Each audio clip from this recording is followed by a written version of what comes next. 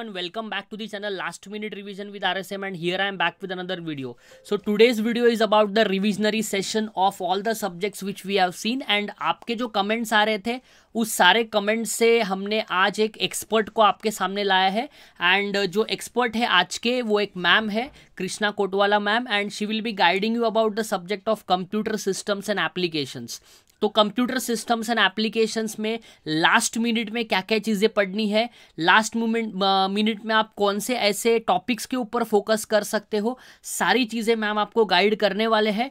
तो वीडियो को लास्ट तक देखते रहे और अगर आप पहली बार चैनल पे आओ तो सब्सक्राइब करके रखें ताकि ऐसे ही informative videos last minute revision videos आपको इस चैनल पे मिलते रहेंगे। हम अभी जाते हैं कृष्णा मैम के पास और मैम आपको गाइड करेंगे कि कंप्यूटर सिस्टम्स एंड एप्लीकेशंस का जो आपका पेपर है, उसमें आपको कौन से कौन से ऐसे पॉइंट्स के ऊपर फोकस करना है ताकि वो सारे पॉइंट्स आपके एग्ज़ाम से रिलेटेड इंपॉर्टेंट बन जाएँगे और उससे आपको काफ़ी अच्छे आपके पेपर में मार्क्स मिलने वाले हैं। Over to you ma'am this is one sample paper कि there you have the question number one which is as I said like question number one which is based on objective only so first question वही है जो M S Excel के true and false पूछे गए हैं. Then after my S Q L के M C Qs है.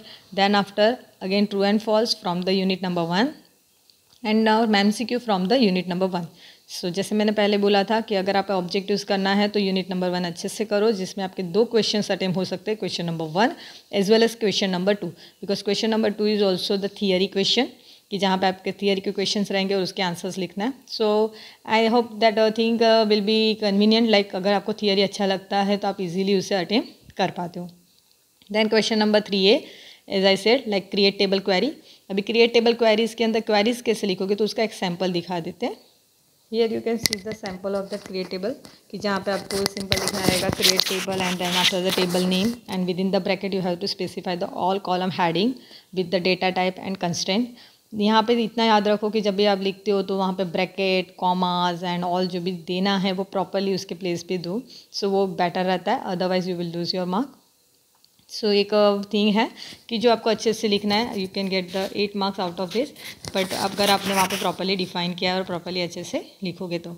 So so, ये तो हो गया आपका question number three A then after the question number three B as I said कि जहाँ पे आपके पास ऑप्शन में रहेगा फ़ंक्शन जहाँ पे आप फ़ंक्शंस भी अटेंड कर सकते हो और उसके ऑब्लिक में रहेगा M C Q my S Q L के सम सिंपल क्वेश्चन जहाँ पे इंसर्ट टेबल अदरवाइज़ वहाँ पे रिकॉर्ड्स या तो फिर उसके अपडेट्स एंड ऑल रहता है। But it's better if you are focusing on a function so you can skip that other part जहाँ पे आप इंसर्ट अल्टर की जो क्वेरीज रहती है, वो आप वहाँ पे स्किप कर सकते हो। तो ये होगा आपका क्वेश्चन नंबर थ्री अटेम हो सकता है जहाँ पे आप फ़ंक्शन और अगर क्रिएट टेबल अच्छे से कर दिया दो then after question number four जिसके अंदर अगेन मैंने जैसे पहले ही बोला था कि जहाँ पे एक सिंपल एंड कॉम्प्लेक्स क्वेरीज आती है, दोनों कंबाइन लगी हाँ यहाँ पे ये होगा कि यहाँ पे ऑलवेज क्वेरीज कैसी होती है? डिस्प्ले करके होती है। Display in the sense you have to start your query with the select क्योंकि डिस्प्ले करना यानी वहाँ पे आप कॉलम डिस्प्ले करोगे सो वहाँ पे पहला कीवर्ड तो यही यूज़ होगा। Select and then after name of the column अगर हमें सारी कॉलम डिस्प्ले करनी है तो select star from particular table या तो फिर पर्टिकुलर करना है तो वहाँ पे हम स्पेसिफाई कर देंगे कौन सी कॉलम पे करना है। Now here you can see the question number four A B और उसमें सब क्वेश्चन जो दिया है, उसमें थर्ड क्वेश्चन देख लो। थर्ड क्वेश्चन के अंदर जो क्वेरी है, जहाँ पे डिफाइन किया कि display roll number marks and test two from the table marks from the students whose marks obtain is equal to the highest mark of ten now जब ऐसे क्वेश्चन आते हैं जहाँ पे हमारे कंपैरिजन हो रहा है मार्क्स का, किस मार्क्स के साथ? तो हाईएस्ट मार्क्स के साथ. Now highest marks we are not getting directly so in that case that is a sub query so यहाँ पे मैंने एक सैंपल दिखाया आपको कि सब क्वेरीज अगर रहेगी तो क्या रहेगा? तो जहाँ पे ये हाईएस्ट लिखा है तो वहाँ पर कभी एवरेज आ सकता है, कभी वहाँ पे मैक्सिमम या तो मिनिमम इस टाइप के वर्ड्स यूज़ हो सकते हैं। सो so, जब आपकी कोई क्राइटेरिया में कंडीशन के अंदर वहाँ पे इस टाइप के वर्ड्स यूज़ होते हैं तो वो क्या हो गया सब क्वेरीज रहेगी। बाकी नॉर्मल वहाँ पे अगर मल्टी टेबल क्वायरी रहती है तो वहाँ पे लिखा रहता है कि display the particular columns using the both table जैसे यहाँ पे क्वेश्चन नंबर वन में लिखा है कि you have to display some of the columns using both tables so means वहाँ पे वो क्या होगा? आपका मल्टी टेबल क्वेरी रहेगा। सो so, इस वाले यू कैन ईजिली आइडेंटिफाई कि कौन सी क्वेरी में सब क्वेरी यूज़ करनी है कौन सा मल्टी टेबल होगा और कौन सी सिंपल रहेगी। सो अगर आपने अच्छे से पढ़ा है तो वो थोड़ा आपको अच्छे से लिख सकते हो। तो यहाँ पे इसी टाइप के क्वेश्चन रहेंगे। Within the question number four B में भी वैसे ही मिक्सअप वाले ही होंगे, कि जहाँ पे जैसे मैंने बोला, एक क्वेश्चन वहाँ पे सिंपल क्वेरीज के ऊपर रहेगा, दूसरा क्वेश्चन वहाँ पे mix up queries like simple as well as complex और सारा मिक्सिंग रहेगा। So that is our question number four then after question number five जहाँ पे मैंने बोला था कि हमारे पास एक्सेल की सीट दी जाएगी, और उसके नीचे सब क्वेश्चंस रहेंगे and you have to solve that sub question by writing that steps वहाँ पे ज़्यादा बड़े बड़े स्टेप्स लिखने की ज़रूरत नहीं है। सिंपल स्टेप लिखो कि जहाँ पे पर्टिकुलर सेल सिलेक्ट करना है या पर्टिकुलर वहाँ पे सिलेक्शन पार्ट आ रहा है क्लिकिंग पार्ट आ रहा है तो वहाँ पे आपको सिंपली लिखते जाना है by steps steps is also not compulsory as you required जैसे आपको लग रहे हैं वैसे स्टेप्स दे सकते हो। जैसे मैंने यहाँ पे बोला थ्री स्टेप्स में नॉर्मली वर्क हो जाता है। जैसे यहाँ पे फ़र्स्ट ऑफ़ ऑल क्या दिया गया कि within this Excel sheet you have to calculate the D H R A total pay and tax so so, अगर हम सिर्फ़ कंसिडर करके मुझे डी ए कैलकुलेट करना है तो सिंपली मुझे करना क्या होगा? तो step number one I have to select the cell C two because I have to write the formula within the cell C two so यहाँ पे हम C L C two select कर रहे हैं। उसके बाद सेकेंड स्टेप रहेगा type the formula as और वहाँ पे जो भी फॉर्मूला होगा वो हम लिखेंगे। देन आफ्टर नेक्स्ट रहेगा कि जहाँ पे आपको उस पर्टिकुलर फॉर्मूला को रिमेनिंग सारे सेल में ड्रैक करना रहेगा। सो so, इसलिए सिंपल थ्री स्टेप्स में वो वर्क हो जाता है। ज़्यादा कॉम्प्लिकेटेड नहीं होते। तो सिंपल है that you can easily attempt sometimes like यहाँ पे जैसे क्वेश्चन दिया कि as one hundred and three sorry that one hundred thirty percent of the basic salary or whichever is more in the column C so अभी यहाँ पे जब आप पर्टिकुलर वैल्यू का वन हंड्रेड एंड थर्टी का percent calculate करते हो वो और अदरवाइज़ फोर्टी थाउज़ेंड जिसमें से जो ज़्यादा होगा वही हमें वहाँ पे लेना है। तो यहाँ पे सिंपली फार्मूला के साथ वहाँ पे क्या ऐड होगा? हमें मैक्सिमम फार्मूला भी यूज़ करना होगा यानी मैक्स का फार्मूला भी यूज़ करेंगे। तो इस वजह से कभी कभी मैक्स मीन का भी फार्मूला आ सकता है। हाँ अगर आपने रीड किया होगा तो आपको ये आइडिया होगा कि इस टाइप के क्वेश्चंस को कैसे सॉल्व किया जा सकता है। सो so, ऐसे ही टाइप के क्वेश्चंस रहेंगे जिसके अंदर थोड़े फार्मूलाज यूज़ होंगे। नेक्स्ट वन उसके ऑब्लिक में रहेगा जैसे मैंने बोला वो आइदर पाइवोड सब टोटलिंग के क्वेश्चन हो सकते हैं।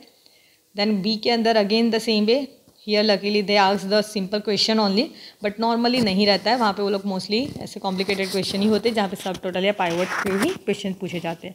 और उसके अब्लिक में फ़ंक्शन रहता है. सो so, अगर एक्सेल अटेम्प्ट करना है तो वहाँ पे आपके पास है तो फ़ंक्शन है. अच्छे से फ़ंक्शंस कर लो. फ़ंक्शंस के अलावा वहाँ पे आप करोगे तो सिंपल फार्मूलाज के साथ एंड ऑल वो भी कर सकते हो. आप पाइवट शॉर्टिंग सेफर साइड पे अगर कर सकते हो तो बेटर है. बट अगर मेनली आपको जस्ट सिंपली पासिंग के लिए कर रहे हो तो फिर उसमें सिंपल एक्सेल सीट वाला जो क्वेश्चन है वो सॉल्व कर देते हो फ़ंक्शन कर देते हो तो इज़ इट इनफ सो इस वजह से आप पेपर इजीली अटेम्प कर पाओगे। I hope this all information may be useful for you कि जहाँ पे आपको आइडिया आ जाएगा कि कैसे आप पेपर इजीली अटेम्प कर सकते हो इजीली कर सकते हो। सो so, जैसे मैंने बोला अगर आपको थियरी में इंटरेस्ट है so first of all focus on unit number one so there you can consume the twenty six marks अगर आपको वहाँ पे माया स्किल में कन्वीनियंट हो तो वहाँ पे सिक्सटीन सिक्सटीन मार्क्स का दो यूनिट आ जाएगा। So means thirty two marks you can consume if you learn about the MySQL like आपने ऑलरेडी किया हो तो। और एक्सेल इजी है इट्स नॉट टू कॉम्प्लिकेटेड जहाँ पे आपको इजीली सेवेंटीन मार्क्स मिल सकते हैं। So I just suggest that first of all go with the theory part and then after MySQL now it's depend on you जो अगर my skill में बहुत एक्सपर्ट है तो वहाँ पे वो फोकस माई स्किल पे कर सकते हैं। आई होप कि आप सभी लोगों का डाउट इस वीडियो के बेसिस पे क्लियर हुआ है और आपको किस चीज़ों के ऊपर फोकस करना है मैम ने काफ़ी अच्छी तरीके से आपको बताया है। तो I am extremely thankful to ma'am कि आपने ये video last minute revision related video all students के लिए रिकॉर्ड किया है, जिसका काफ़ी अच्छा बेनिफिट बच्चों को आने वाले पेपर में होगा।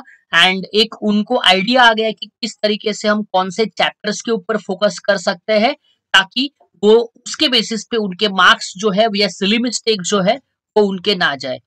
Thank you once again ma'am for recording such wonderful session for last minute revision with R S M and uh, we'd be looking forward for recording more such sessions on semester 6 ताकि computer systems and applications के जो semester six के videos होंगे वो भी हम आपके साथ रिकॉर्ड करेंगे। Thank you very much and wish you all the best for tomorrow's paper